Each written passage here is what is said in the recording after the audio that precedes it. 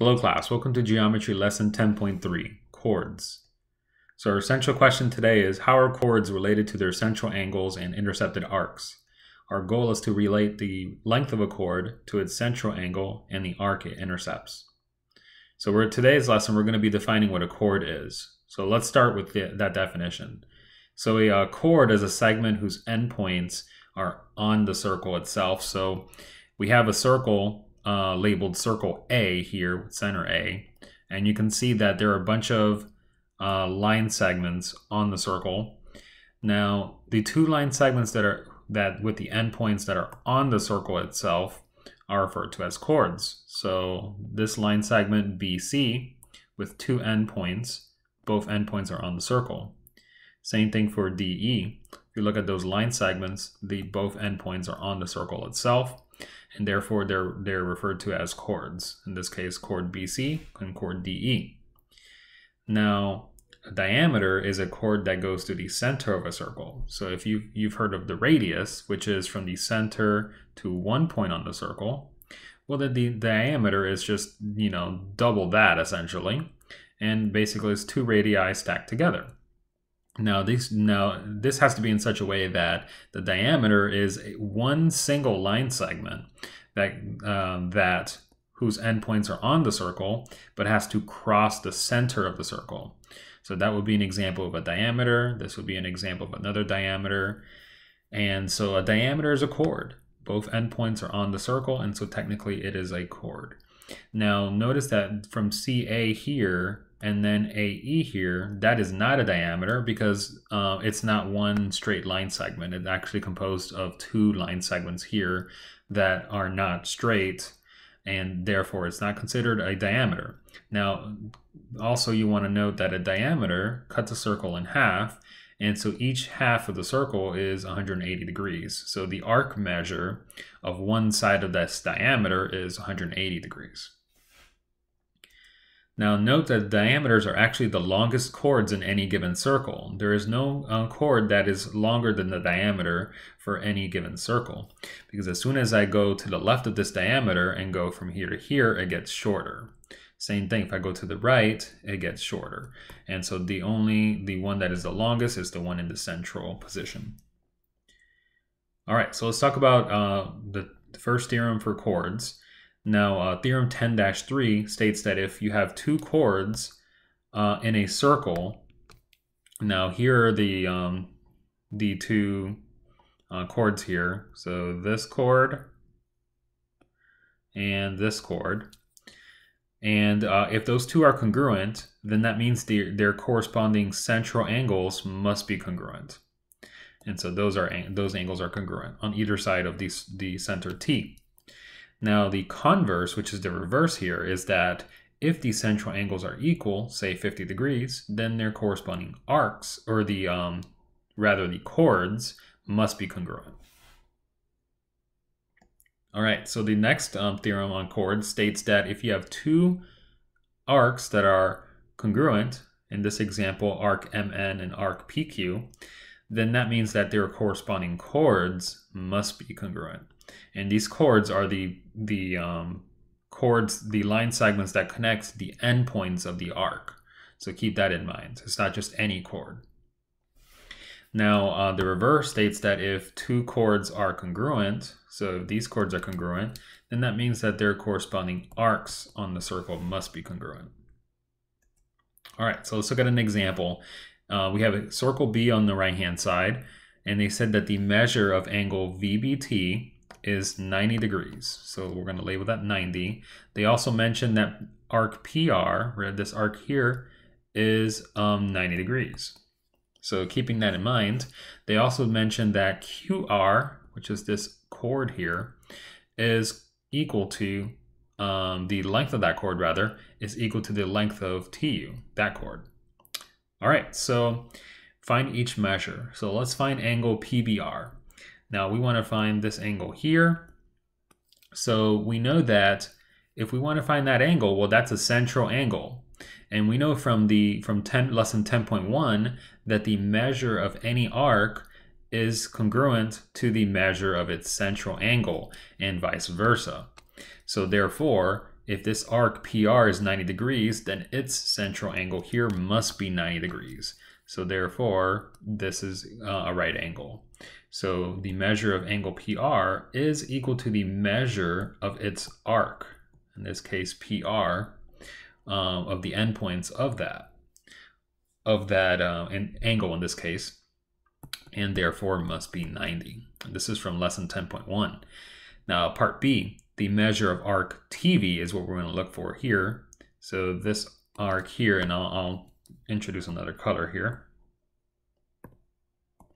So we're looking at this arc here. So uh, if we want to find that arc, well, it's equal to its central angle, which is that. So there, that's from the, for the same reason uh, that we mentioned in 10.1 for part A. All right, so this is equal to um, the measure of its central angle, which is VBT, which is equal to 90. All right, so these are both lesson 10.1. There, there's a theorem in 10.1. Now, uh, identify an angle that is congruent to QBR. So let's introduce another color for that. So we have QBR, this angle here, Um, so we want to find that angle in purple. Now we know that um, we know that the let's see here. We know that that the chord that corresponds to QBR is QR, and we know that this chord is equal to this chord, right, which is UT. And therefore, that means from the theorem that we introduced earlier, which is um, theorem 10-3, if the arcs uh, or if the um, central angles are congruent, then the chords must be congruent, and then vice versa, the converse, right? If the chords are congruent, the uh, central angles must be congruent. So therefore, we're going to be using 10-3 or its converse, depending on direction, um, to show that this is congruent. Um, so therefore, the um, angle QBR is congruent to angle uh, in this case, um, UBT. All right, so uh, let's identify a segment that is congruent to TV. So uh, TV is the arc here, this orange arc. So we want to find something that's congruent to that. Well, we know that this arc is not um, has to be the same as uh, this arc um, because the central angle for that is 90 degrees. We said that here, that the arc on TV is 90. So this is 90 here. And since that arc is congruent to this arc here, 90 degrees, this must mean that their corresponding chords must be congruent. So that means that TV must be congruent to PR. And that's by theorem 10-4 or its converse, depending on the direction. All right, so let's look at the next theorem. Now that we discussed two theorems uh, for chords. So the third theorem is theorem 10-5. If chords are equidistant from the center of a circle, um, then they are congruent. So you have the center of the circle here. If it's the same distance from the center of the circle to each of the chords on the circle, so this distance is congruent, then that must mean that the chords themselves are congruent. And in the reverse is if the chords are congruent themselves, so we'll go ahead and get rid of this. If the chords are congruent, then that must mean that the um, the distance from the center to those chords must be congruent. Let's look at this example here. So uh, in this circle, it says that angle, the measure of arc AB is 43 degrees. So this arc is 43. AC is equal to DF. So we know that, let's use another color for this here. So this arc AC is equal to, or not the arc rather, I'm sorry, the um, this distance here AC is congruent to DF. So those are the same um, length. Find each measure. So we want to find DF, which is the same thing as AC here. Now, the important thing to notice is that because we have because this is this um because these two chords are the same distance from the center here, so this is the same distance, um, then that must mean that, or what, what I should say rather is, what I should say rather is that because the two chords are the same length, then that means these distances must be the same from P to H or from P to G and that is the converse of theorem of the previous theorem, uh, I believe theorem 10-5. So because that is the case, they're the same distance away. Now, um, because they're the same distance away, if you look at this um, angle here, this from here to here, if you look at that, well, that is the central angle. And so that is the central angle encompassing all of this.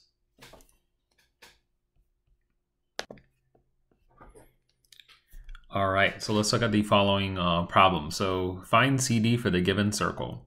So we have circle Q, and it states here that the distance, if you notice the distance from um, the center Q to each of those line segments is the same. So it's a distance of six. So we know that these are the same, and therefore this must mean that the, uh, the chords themselves, DC and AB, have to be the same length. And we know it says here that this is uh, 15 on each side because these are, it said these are congruent, so that's a total of 30. So we know that by the theorem that we mentioned earlier that AB must be congruent to DC because the distances here are the same from the center. Um, and so DC is equal to AB, and we know that AB is 15 plus 15 here which is a total of 30, and therefore DC must be equal to 30. All right, so let's look at the next uh, theorem, next couple of theorems here. So theorem 10-6 states that if a diameter, so in this case the diameter is CD here, so that's the diameter. If the diameter is uh, perpendicular to a chord, now this is the chord AB, so in this case the diameter is 90 degrees to that chord, then that must mean it must bisect the chord or cut it in half. So therefore, the diameter um, is, serves as a perpendicular bisector. Um, the converse of this states that if a diameter bisects the chord or cuts it in half, then it must be 90 degrees to that um, chord. All right, so the uh, last theorem uh, for chords states that the perpendicular bisector of a chord. So if you have any line, any line segment that cuts the chord in half, half and cuts it at a 90 degree angle, then that means that line segment must contain the center of the circle.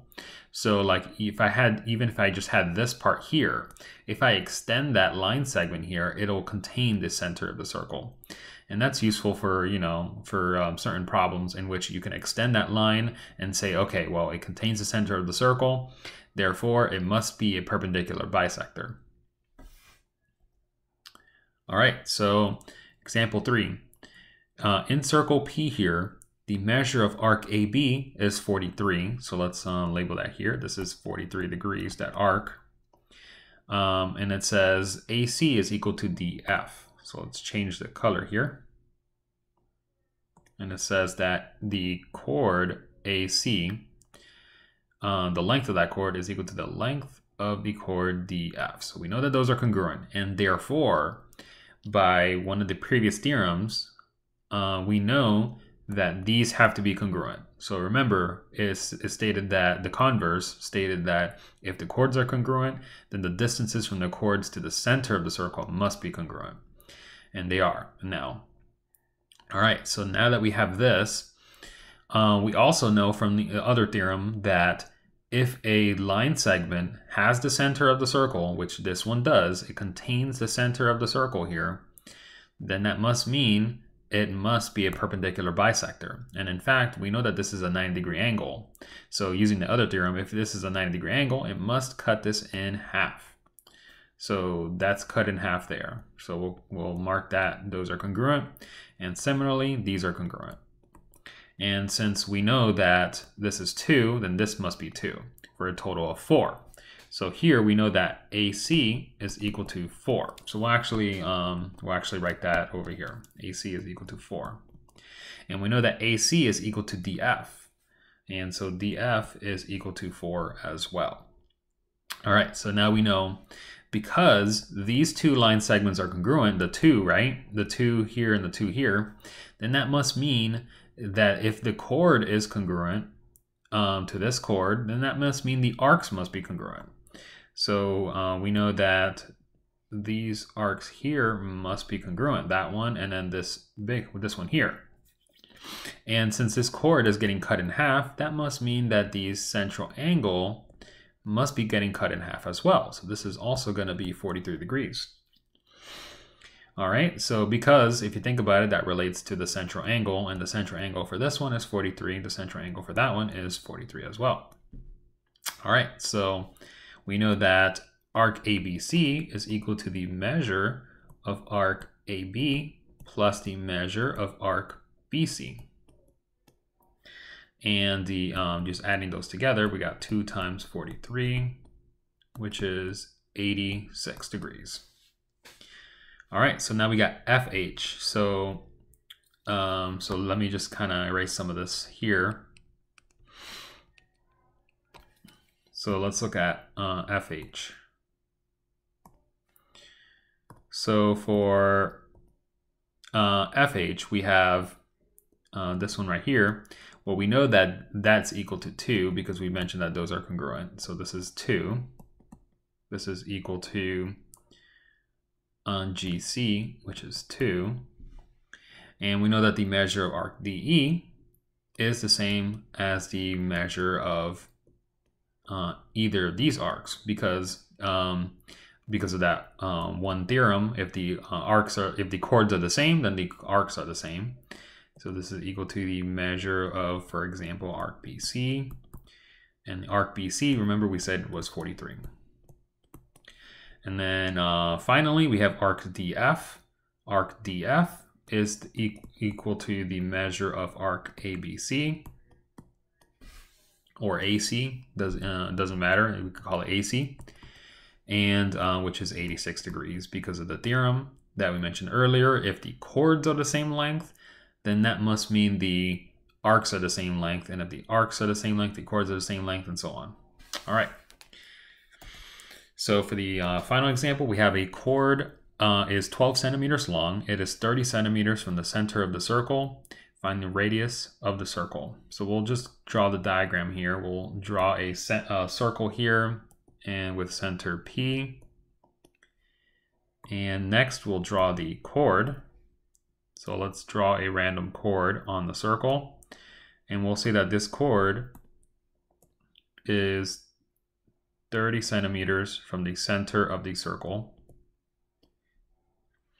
And the chord itself is 12 inches long, or 12 centimeters long.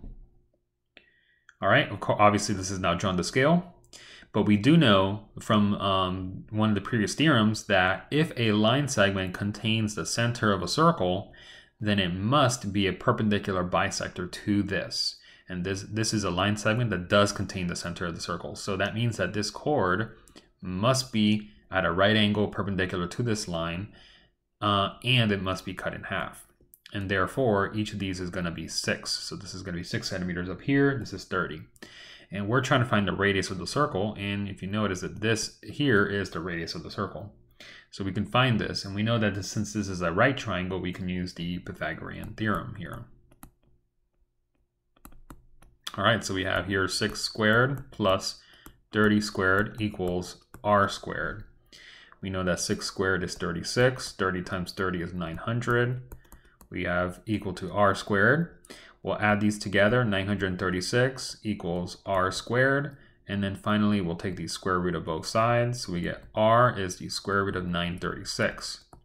Now we can break up 936 uh, into the square root of 36 and the square root of 26. I did this because 36 is a perfect square and the square root of 36 is 6. So we have 6 times the square root of 26. So just so that we can simplify this radical, and of course you can get it as a decimal. All right, so that's it for the examples. We're going to cover constructions of, um, so several constructions that relate to chords. So the um, the way that these are related is that you're going to you're going to have a circle and you're going to construct a hexagon inside that circle. So we're going to show you how to do that. So we have some kind of hexagon, and in order to do a circumscribed or an inscribed hexagon, we're going to need to draw we're going to need to draw some chords, and these chords connect to the circle to construct the hexagon. So we're going to show you how to do that.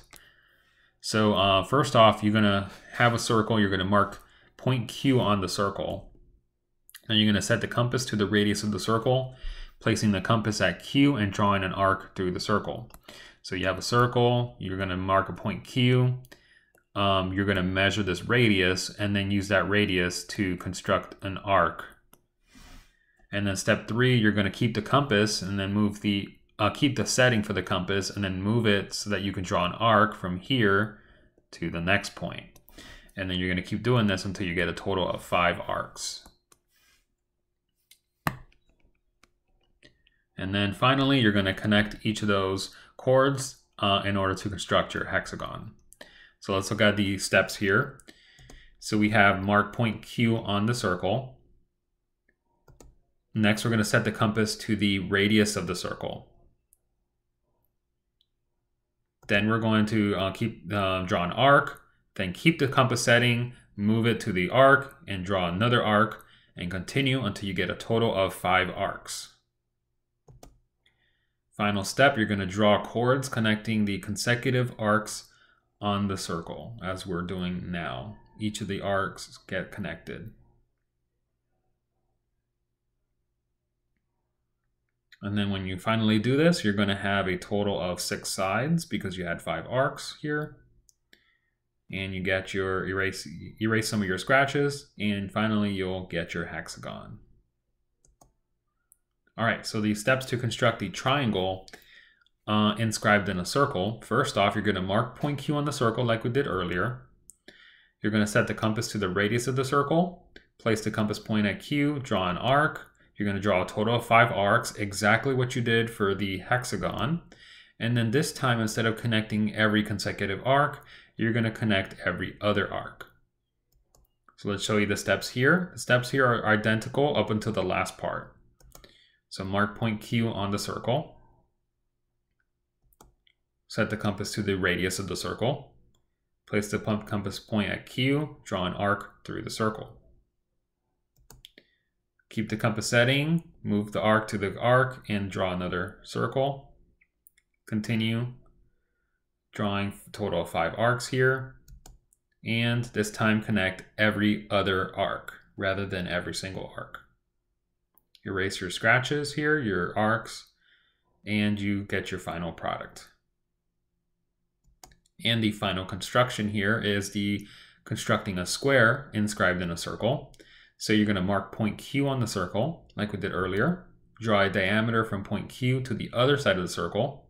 We'll call the other point R. So you'll have a little circle here. You'll pick a point Q. You'll draw a diameter and label this point R. You'll set the compass to, um, you'll, you'll basically be drawing arcs above and below from R and from Q to construct a perpendicular bisector. Draw a line through the points the arcs cross, which is your perpendicular bisector, making sure to cross the circle. And then therefore, and then finally you'll connect your chords here to get your square. Now the reason this works is that when you draw uh, one of the properties of a square is that its diagonals are always uh, perpendicular. And so if I draw a diameter uh, of a circle, so this point is saying that this line is my diameter, then all I have to do is construct a perpendicular um, bisector um, that's 90 degrees to this, and therefore uh, I can make the use the property of the square. All right, so the first step, mark point Q on the circle. Next, you're going to draw a diameter from point Q to the other side. We'll call the other point R. Set the compass to a bit beyond the radius QP, and then draw an arc above and below point P. Repeat this for point R, keeping the same setting for your compass. Step 4, draw a line through the points where the arcs cross, making sure to cross the circle. We'll call the new points S and T. Step 5, draw chords connecting consecutive points on the circle. Eraser scratches to reveal the final product. All right, that's going to do it for the video, guys. I hope you found this useful. I uh, hope you took a few things. And as usual, I'll see you in the next one.